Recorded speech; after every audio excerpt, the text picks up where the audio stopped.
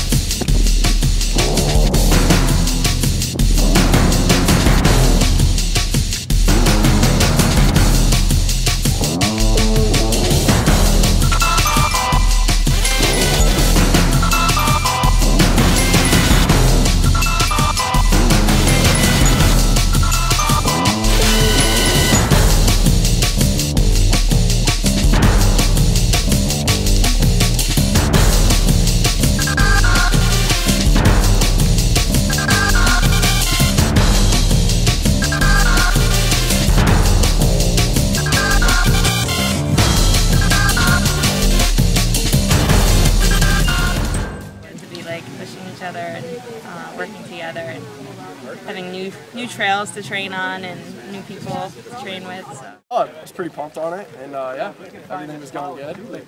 Things are coming around nicely going into the season, so still a little ways, but mm -hmm. doing work here.